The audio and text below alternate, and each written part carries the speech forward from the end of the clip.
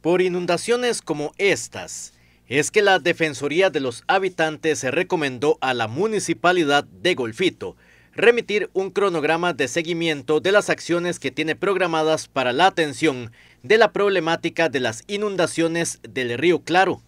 tanto aquellas dirigidas hacia la mitigación de las emergencias como las obras definitivas en aras de una solución integral a este problema. En un reciente informe, la Defensoría también solicitó al municipio que indique cuáles serán las acciones de mitigación y obras paliativas que realizarán en 2023 para prevenir emergencias en las zonas de Las Delicias y Las Vegas, mientras se logra realizar las obras definitivas en el cauce del río Claro.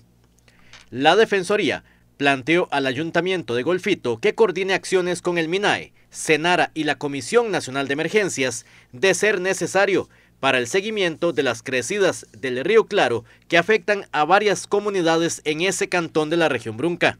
En un reciente informe de la Defensoría solicitamos al municipio que informe sobre las acciones de mitigación y obras paliativas que realizará en el presente año 2023 para prevenir emergencias en las comunidades de Las Delicias y Las Vegas mientras se logra realizar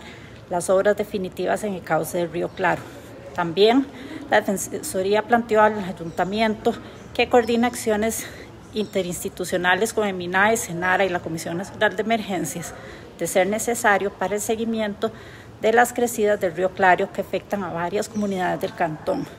La municipalidad de Golfito indicó a la Defensoría que Senara está contratando estudios técnicos del río Claro y todas las cuencas que lo conforman con el fin de contar con una propuesta técnica para dar solución permanente a esos sectores que presentan problemas de inundación y desbordamientos con frecuencia. Los estudios contratados se encuentran en etapa de recepción definitiva y se espera que para este año se puedan contar con ellos para poder cuantificar las obras y buscar el financiamiento económico.